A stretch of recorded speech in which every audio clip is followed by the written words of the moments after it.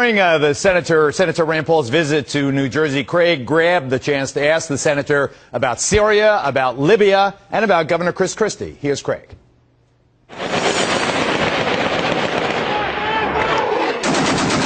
We will maintain our military posture in the region to keep the pressure on the Assad regime. And if diplomacy fails, the United States and the international community must remain prepared to act. President Obama seeks congressional approval to invade Syria, senators like Rand Paul of Kentucky say we haven't even taken care of the people who invaded our embassy in Benghazi. We, we, we lost four Americans last night. I want to assure you we will bring their killers to justice. President Obama said uh, a year ago on September 11th after the attack in Syria that we were going to get the people responsible. Do you think it's ironic that he wants to go into Syria when we haven't brought the people responsible for those attacks on our ambassador to justice? Benghazi? Uh, no, and in fact, I think really we've known for about a year at least one of the people's been interviewed by television networks. So no, I think we haven't done the job in Benghazi. Were any of these weapons being transferred to other countries, any countries, Turkey included? Well, Senator, you'll have to direct direct that question to uh, the agency that uh, ran the annex. The junior Republican senator from Kentucky believes Hillary Clinton lied before Congress about the CIA operations in Benghazi arming Islamic rebels in Syria and wants the former Secretary of State brought back before the House Oversight Committee and specifically asked if she knew of the CIA gun running operation. But there's one thing they failed to address, and I think you've failed to address, and it sets us up for another tragedy like this.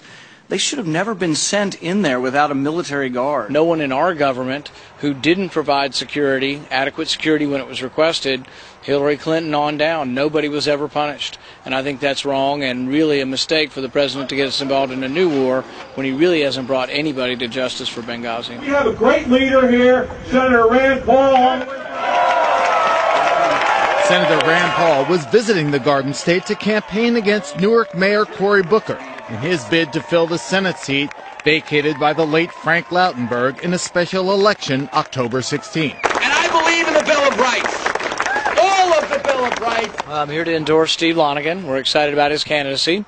Uh, we're excited about a candidate that I think can really grow the Republican Party up here. This sequester, the president says, Oh my goodness, the planes will crash. Rand's appearance is especially noteworthy given his bitter feud with New Jersey's tough governor, Chris Christie, who criticized Senator Paul's libertarian view of foreign policy this strain of libertarianism that's going through both parties right now and, and making big headlines, I think is a very dangerous thought. I love all these esoteric debates that people are getting in. Senator Rand Paul, for example? Well, listen, you can name any number of people who've, who've engaged in, and he's one of them. Paul fired back, bashing Christie in July at a Tennessee fundraiser taped by the Tennessean for his call for unfettered federal funding after Superstorm Sandy. They're precisely the same people who are unwilling to cut the spending, and they're gimme, gimme, gimme, gimme all my Sandy money now. Now, this is the one thing that you do agree with New Jersey Governor Chris Christie with. Yeah, I think we're on the same page with this, and uh, I think the governor endorsed uh, Steve Lonegan a couple of weeks ago. Now, uh, one thing that we can't ignore is the fact that uh, you have these fires going on uh, the New Jersey boardwalk, uh, devastating uh, effect on the New Jersey shore after uh, the hurricane, after the storm. You and uh, the governor have been in contention over funding for repairs for the storm. And obviously, this is going to be another call for federal funding. What do you think? Yeah.